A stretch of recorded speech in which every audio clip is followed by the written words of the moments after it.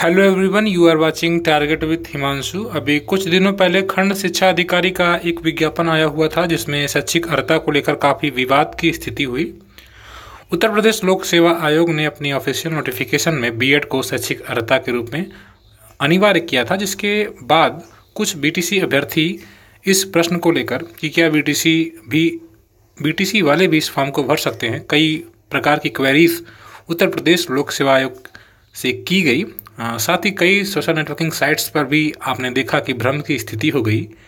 इस बात पर कि क्या बीटीसी इस फॉर्म को फिलअप कर सकते हैं बीटीसी अभ्यर्थी? इस संबंध में उत्तर प्रदेश लोक सेवा आयोग की ऑफिशियल नोटिफिकेशन रिलीज़ किया गया है सत्रह दिसंबर में, जिसमें इन्होंने स्पष्ट कहा है कि शैक्षिक अर्हता के संबंध में जो अभ्यर्थियों द्वारा जिज्ञासाएँ हैं, उसको देखते हुए उन्होंने स्पष्ट किया है कि उक्त पद की शैक्षिकर्ता भारत में विधि द्वारा स्थापित किसी विश्वविद्यालय से शिक्षा शास्त्र में स्नातक उपाधि है।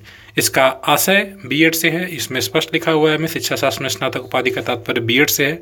कुछ अभ्यर्थी बीटीसी को लेकर कह रहे थे, उक्त के अतिरिक्त जो बी बीएड अर्थाधारित नहीं करते हैं, वो रजिस्ट्रार विभागीय परीक्षा उत्तर प्रदेश द्वारा प्राप्त, प्रदत्त एलटी डिप्लोमा आधारित करते हैं। वो इस पद के लिए पात्र होंगे। इसमें बीटीसी का ज़िक्र नहीं किया गया है, जैसा कि आप सभी देख रहे हैं। इसका मतलब अब स्पष्ट है, हालाँकि ये बात हमने कई दिन पहले भी स्पष्ट की थी, लेकिन अब आज आप ऑफिशियल वेबसाइट के थ्रू जो नोटिफिकेशन रिलीज़ किया गया, उसमें भी यह बात स्पष्ट कर दी गई है। तो जो बीटीसी के अभ्यर्थी हैं, वो इस फॉर्म को फिलअप नहीं कर सकते हैं यह सिर्फ़ बी वाले भर सकते हैं। साथ ही कुछ ऐसे लोग हैं जो कह रहे थे कि मैंने एम किया है एजुकेशन से।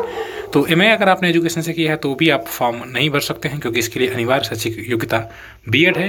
बिना बी के आप नहीं फॉर्म को भर सकते हैं। और ये परीक्षा निय, जो नियंत्रक हैं, उनकी ओर से, अरविंद कुमार मिश्र जी की ओर से यह नोटिफिकेशन रिलीज़ किया गया है।